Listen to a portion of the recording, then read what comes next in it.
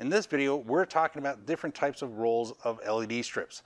Not necessarily how to actually connect them and hook them up and do all that kind of stuff. That's not what it's about. We're going to try and keep this as short as possible. Less than eight minutes is very important. And we're going to talk about the actual chips, brightness, that sort of thing. And so this way you can get a better idea of a buying decision. Uh, we're also going to have other videos which cover power supplies and hooking up the lights to get the maximum use out of it. And we're also going to talk about using lights for indoors and outdoors and all that kind of stuff in a little bit more detail. But those will all be different videos to help make using lights easier for you. So let's start with the actual rolls of lights. So there's lots of different chipsets. When you're buying lights, uh, you're going to see the most common one is called a 5050. And if you're looking just for a multicolor strip, hey, guess what? That's what this guy is right here. That's a multicolor. It'll do any color you want. It'll even do a song and dance show for you if you want it to. Uh, you can just hit the remote control and it'll do all the options. That is a multicolor strip. This is the basis of what most LED strips that you're going to buy, let's say on Amazon, are going to be made out of. They're called 5050, which is 5 millimeters by 5 millimeters. So if you ever wondered what the numbers mean, the numbers mean the size of the actual chip. Now, this happens to be what they call a tri-light. So all three lights are built into one chip.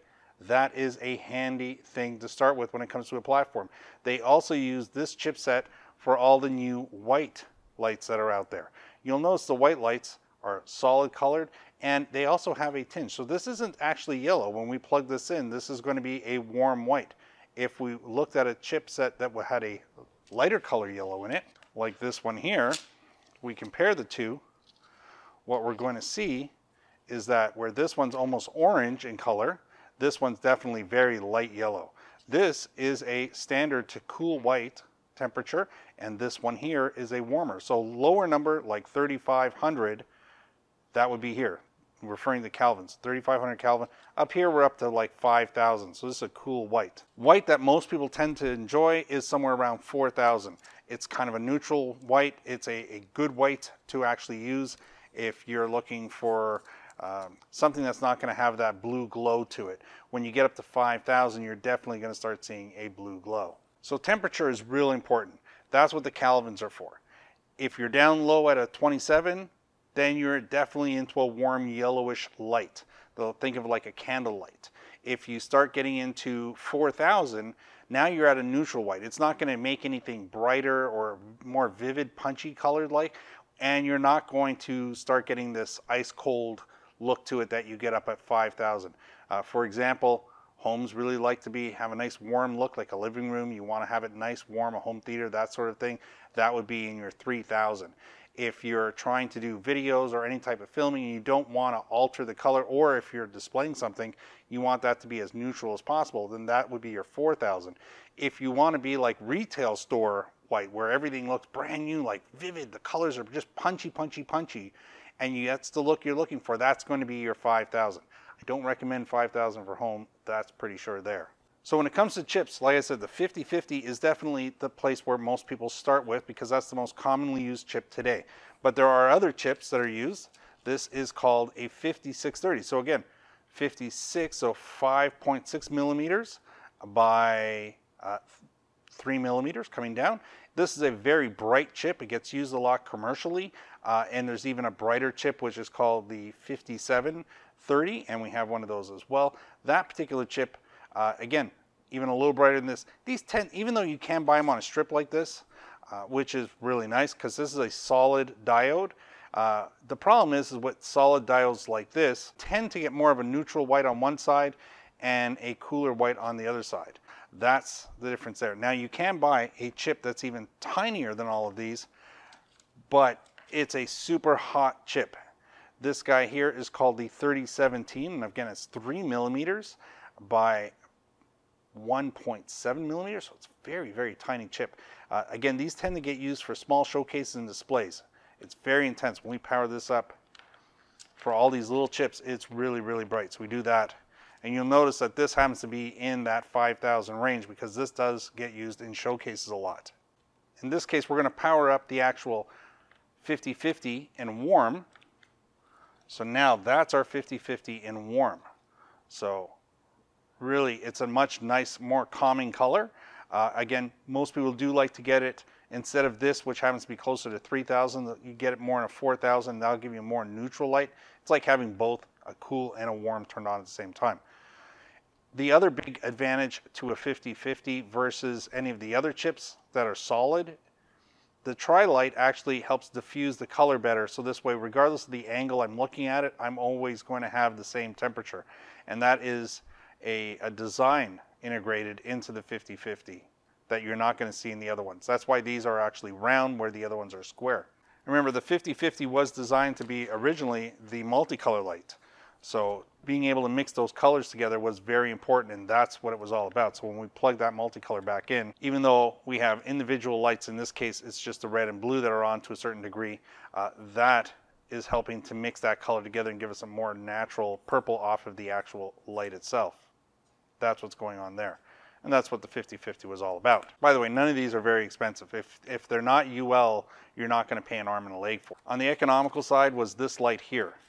This was, this is a 35-28 or a 28-35. And by the way, the reason why you'll see both numbers being used depends on the orientation on the chip, the way they placed it on the actual board. If they put it sideways, it would have been a 35-28. They place it long ways, a 28-35. That's all that's really going on there. So if we actually want to power this guy up here, I'm going to need to put the actual connector on the end. And we have that here on the table. So this is a quick connector and we are going to add it on to here. This quick connector was originally designed for these lights, but amazingly enough, quick connectors are one of the most pain in the butt products to buy online because for as many times as you can get the right connector, you can also get the wrong connector. So this was the connector I had on the previous light and I thought, well, I'm just going to transfer it over. It is 8 millimeters, and this is also 8 millimeters. But there is a basic problem. These connectors are closer together on the actual quick connect versus the cable.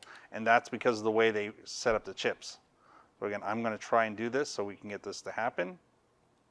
But this just shows you why I'm not a big super fan of quick connectors. So we're going to put that on there and see if we actually make contact apply power, and there we go. Oh, this just happens to be a green laurel. So this is the original strip lights. Now, I would definitely, if you're looking for something not too intense and saving some money and you want to get a lot of lights installed over a large area or on a large panel and uh, you don't want to have to dim it down afterwards, these Econo lights are pretty good still to go with. Uh, they tend to be incredible value added. Uh, and usually they're more of an accent light. So you're doing a small display, a small dis setup. Maybe you're using these inside your actual computer case, that sort of thing, where it's an enclosed space and you just want to add a little light to it. Getting these basic ones, again, 25, 38, or 38, 25. Again, small number set chips. And of course, all these lights come in the primary color. So that would be green, red, and blue. And you can also get them in usually about three to four different temperatures for white, which would be your 2700 to 3000, 4000, 5000. They even go higher than that, and there is numbers in between. But just remember, the higher the number, the cooler it is. So the closer to blue it's going to get, the lower the number, the warmer it's going to get, the closer to that red orangey color that you're going to see. Now there's one incredible chip that everybody misses. They, you know, people, unless you see it, uh, can't believe all the chips that we've looked at so far are basically pointing straight up. So when I have this, the light is going right off the actual chip, straight up from the chip. There is a special chip which has a very small number to it. It is called the 335. So it's 3.5 by 0.5 millimeters. The important thing is, as you notice, the lights are not set in the center. They are pushed off to one side. The light actually does not fire out of this side. This is the plastic side housing.